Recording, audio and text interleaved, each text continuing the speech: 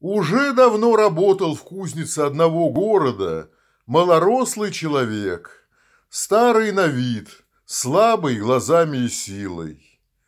Он был помощником кузнеца, носил в кузницу воду, песок и уголь, раздувал горн, держал клещами горячее железо на наковальне. Звали его Ефимом, но люди называли его Юшкой. Хозяин кормил его за работу хлебом, щами и кашей, а чай, сахар и одежда у Юшки были свои. Он их должен был покупать за свое жалование – 7 рублей и 60 копеек в месяц. Но Юшка чаю не пил и сахару не покупал. Он пил воду, а одежду носил долгие годы одну и ту же, только зимой надевал поверх блузы еще полушубок своего умершего отца и обувал валенки. На работу он шел рано утром, а возвращался поздно вечером. Люди часто обижали подслеповатого и беззащитного юшку. Дети на улице бросали с него ветками и камешками. Юшка ничего не отвечал им и шел дальше. Дети серчали на то, что старик не пугает их и не гонится за ними, и еще сильнее дразнили его. Только когда Юшке было совсем больно, он спрашивал. «Чего вы, маленький? Вы, должно быть, любите меня? Обождите, не надо меня трогать». Юшка верил, что дети любят его и просто не знают, что делать для любви. Взрослые тоже часто обижали Юшку, особенно пьяные. Останавливая его на улице, те, кто был пьян или хотел выместить на другом собственную обиду, выходили из себя от бессловесности Юшки и начинали бить его. От этих побоев он подолгу лежал в пыли на дороге, а хозяйская дочь потом говорила Юшке, что лучше было бы ему умереть. Юшка на самом деле был не стар, всего сорок лет, но его с молоду мучила чехотка. Эта болезнь не состарила его до времени, сделала ветхим и слабым. Каждое лето Юшка уходил от хозяина на месяц.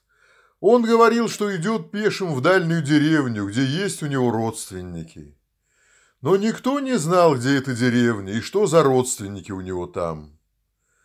Выйдя из города, Юшка шел посреди лесов и полей, любовался на белые облака, слушал голос рек.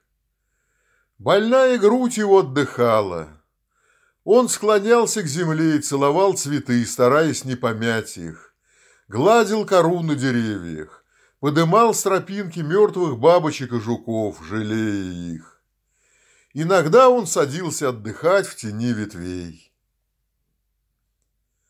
Потом Юшка возвращался в город и снова шел в кузницу.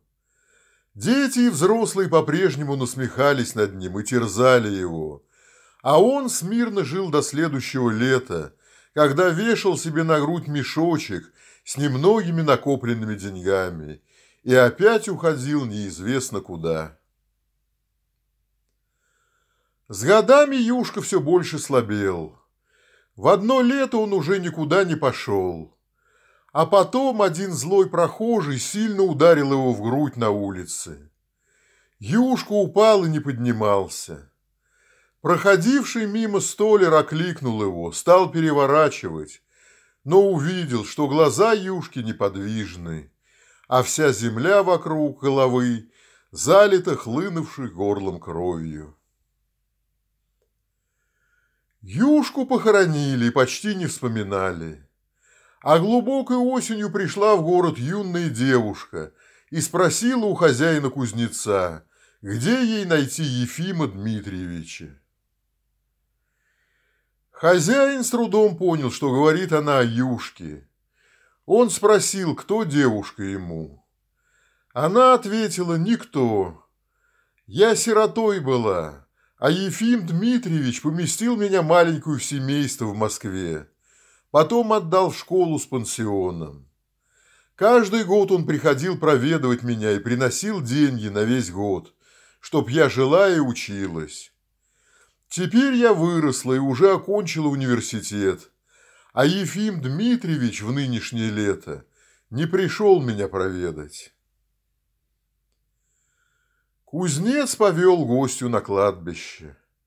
Там девушка припала к земле, где лежал мертвый юшка, человек, кормивший ее с детства, никогда не евший сахара, чтобы она ела его.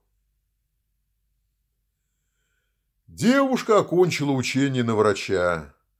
Она осталась в городе навсегда и стала работать в больнице для чехоточных.